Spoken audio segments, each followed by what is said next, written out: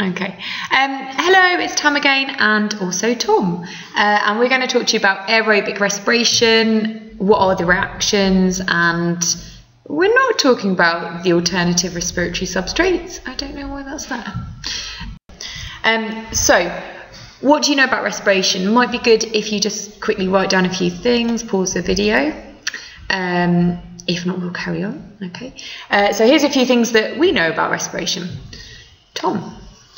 So you probably remember this from GCSE, maybe, um, where we are taking glucose and oxygen and producing carbon dioxide and water, um, and in the process generating some energy, which we're going to call ATP. Um, if you just that's the bottom equation. Um, if you write.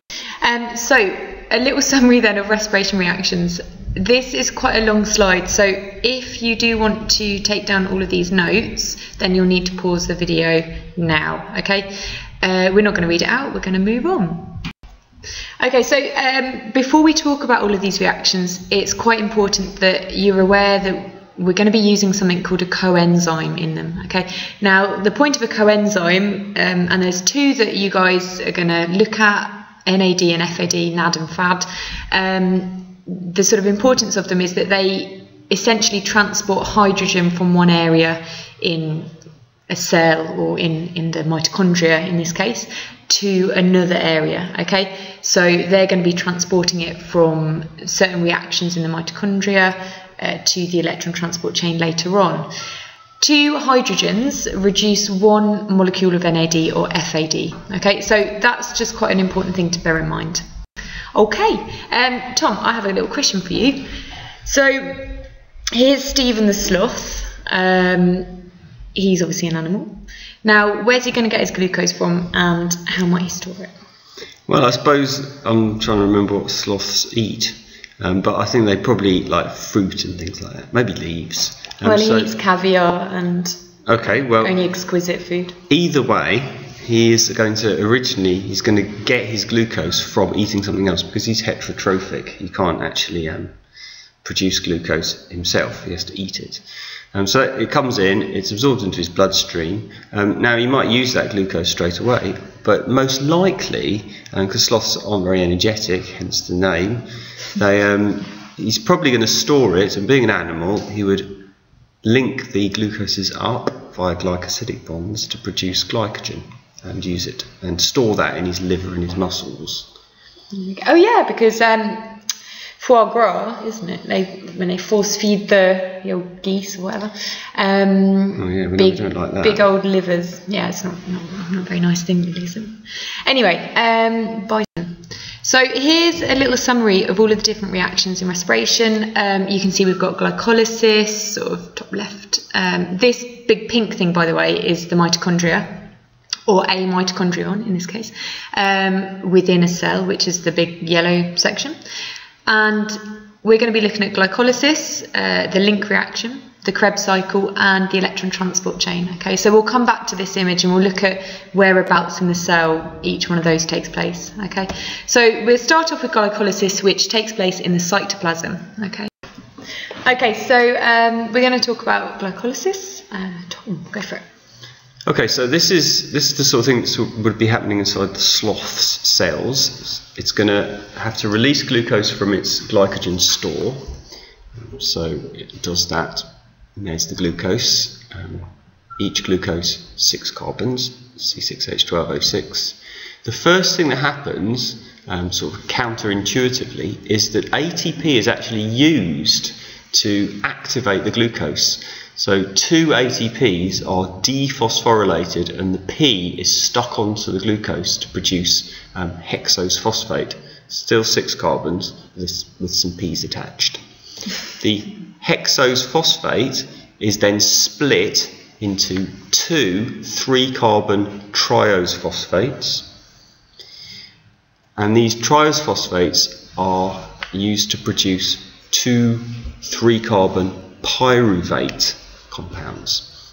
So the product of glycolysis is one glucose producing two pyruvates. When the pyruvates are generated, you also phosphorylate ADP. And you actually, in total, phosphorylate 4 ADPs um, to produce 4 ATPs per glucose. That is phosphorylation. And overall, you can see that although you use 2 ATPs, you produce 4 ATPs. So there is a net um, production of 2 ATPs in glycolysis. And this is substrate level phosphorylation. You also remove two hydrogens when you produce the pyruvate, which is a dehydrogenation reaction, and the H's are picked up by NAD. Remember, that's the coenzyme we mentioned previously.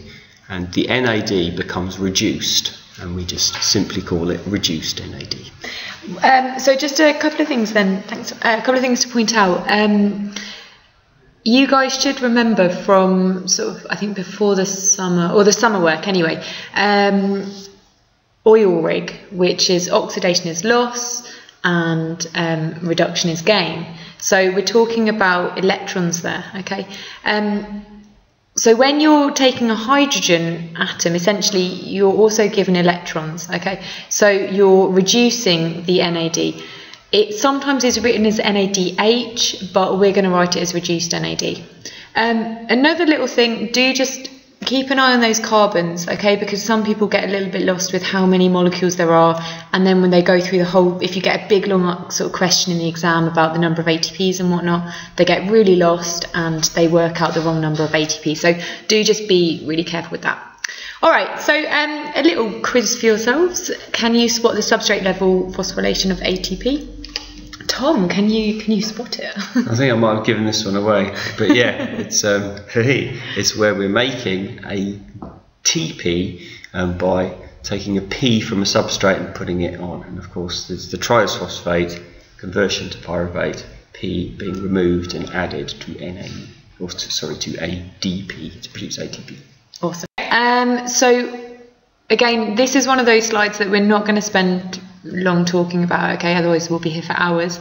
But um, you might just want to stop the video and have a go at this question describing glycolysis, okay?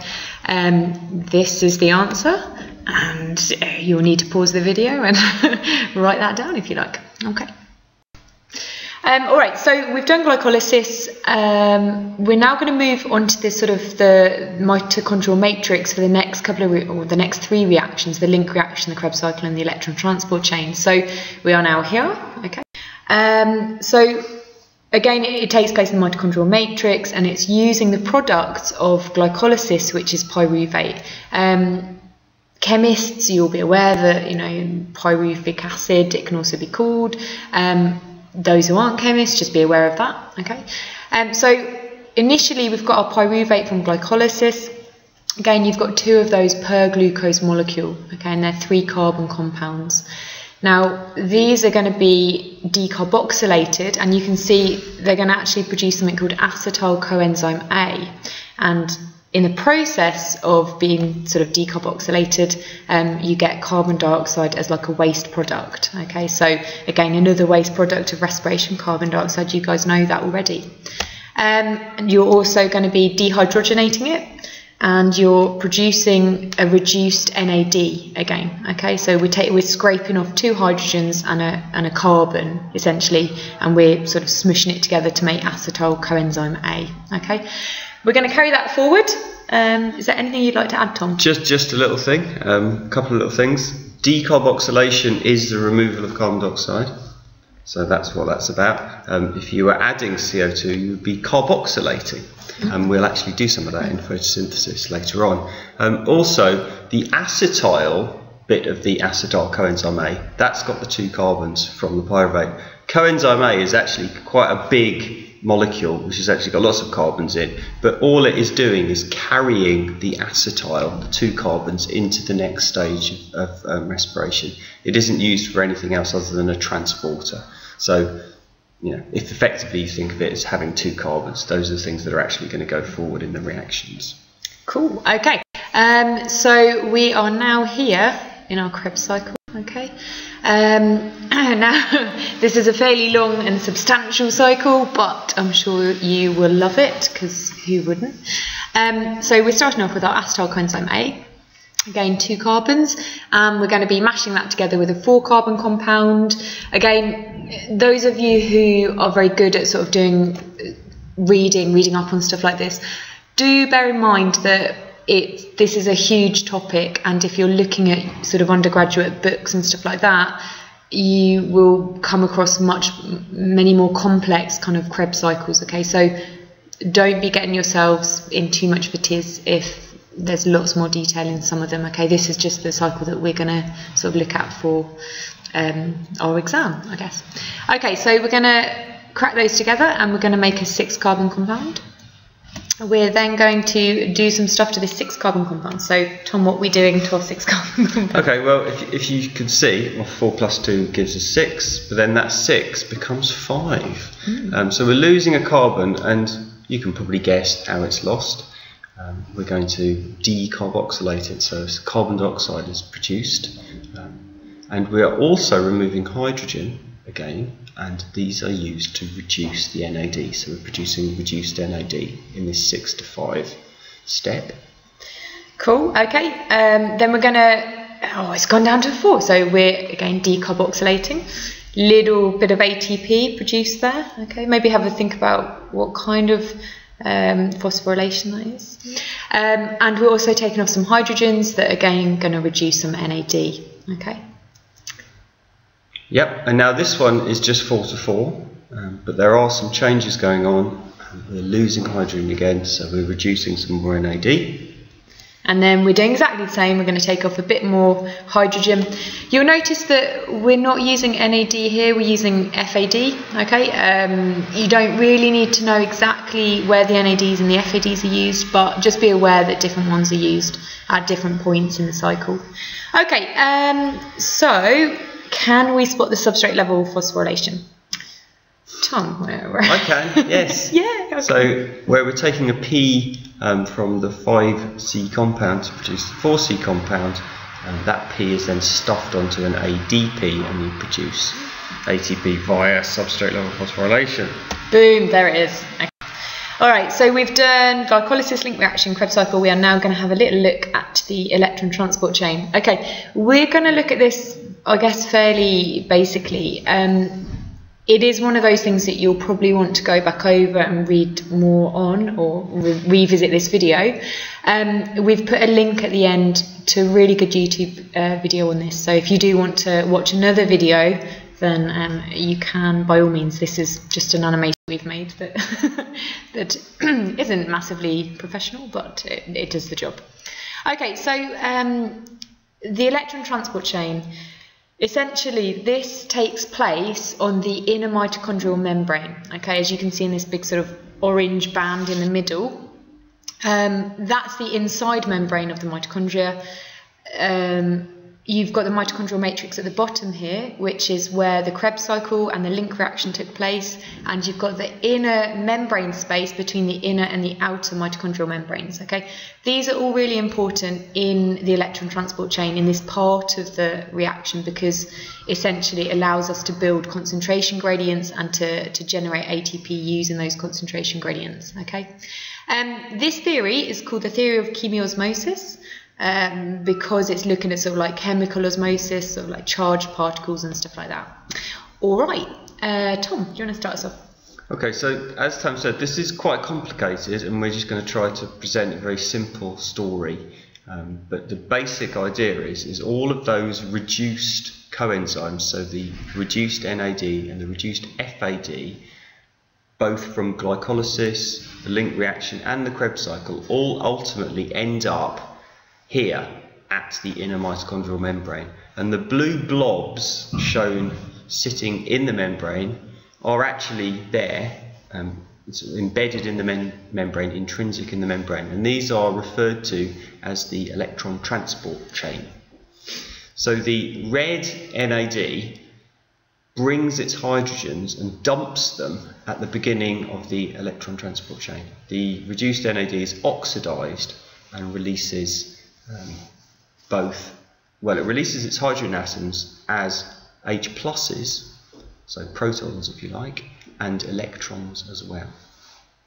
So what's going to happen, we'll, we'll mention where the electrons go in a second, but when these uh, coenzymes, the NAD and the FAD, the reduced coenzymes, when they come over and dump their hydrogen atoms, essentially you're going to get the hydrogen ions, the H pluses, that will diffuse down these proton pumps into the inner membrane space.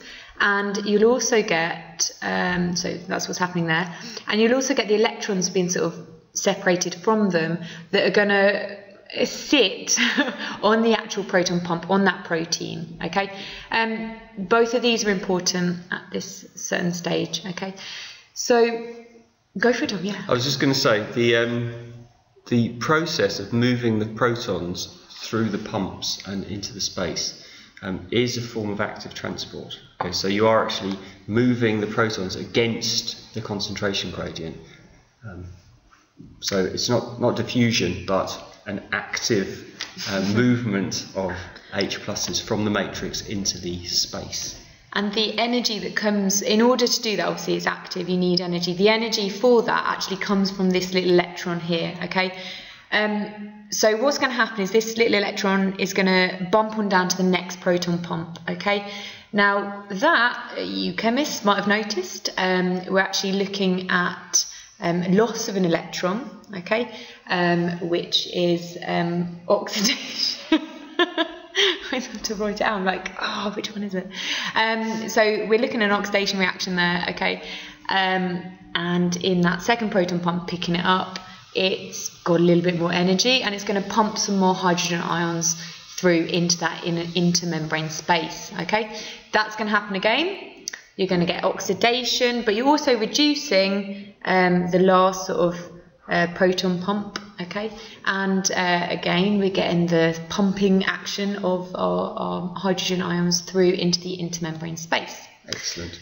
So as Tam was saying, you are getting oxidation to release the electron, and then the um, part of the electron transport tra chain that picks up the electron becomes reduced. So these are usually referred to as redox reactions, redox reactions, reduction and oxidation going on together as it always does. Cool, okay, so what's going to sort of eventually happen is that you're going to get this build-up of hydrogen ions on the intermembrane space, okay? Now this is a good thing, right? Because what this means is that we've now got like a kind of a chemical uh, and also a diffusion gradient between the two sides. We've got lots of positive hydrogen ions in the intermembrane space, uh, more than in the mitochondrial matrix, okay? Um, and that's going to mean that these are going to diffuse via that gradient down back into the mitochondrial matrix through something called a stalked particle, okay? Now, this stalked particle, this is the kind of, I guess, working part of the electron transport chain that essentially generates ATP. Okay, so as the hydrogen ions move through that, you're going to get ADP and PI being smushed together to make ATP. Okay, so you're getting ADP being phosphorylated. Um, couple of key things here. This kind of system here. Um, the stalked particle has like a little rotor blade kind of at the bottom of it and it rotates and as it does you get this like mechanical energy being transferred into chemical potential energy okay? Um, and it's also got an enzyme on it called ATP synthase which essentially synthesizes ATP okay? So it's a really cool really really cool molecule that that synthesizes the ATP there. Cool. Tom yeah, just to, to reiterate how great it is. I mean, this is a this is a nano machine, so a tiny little um, machine which um, rotates and generates ATP, and all living things um, have something like this um, to allow them to produce their their ATP. Cool. Um, so really, quite quite a, a, an amazing um, bit of uh, biological machinery. Awesome. Okay, so we are then going to use that little uh, hydrogen that's just come out of the stalk particle, okay? And we're going to bring together the electron uh, from the third proton pump, and they are going to meet a little oxygen molecule, okay? And they're going to get along really well and make water, okay? So our final kind of you can describe these proton pumps as electron acceptors because they're accepting electrons. So our, our final or terminal electron acceptor here um, is actually oxygen. Okay, um, and that's it. That's it, really. That's brilliant. So the whole thing is totally reliant on the oxygen, hence aerobic respiration, because if we don't have any oxygen at the end to pick up the electrons, then there is no way. Cool. Um, if you do want to have a little look at another video, because I know that some people prefer seeing different types of images and whatnot, um, this is a good link. Okay. Other than that, see you later.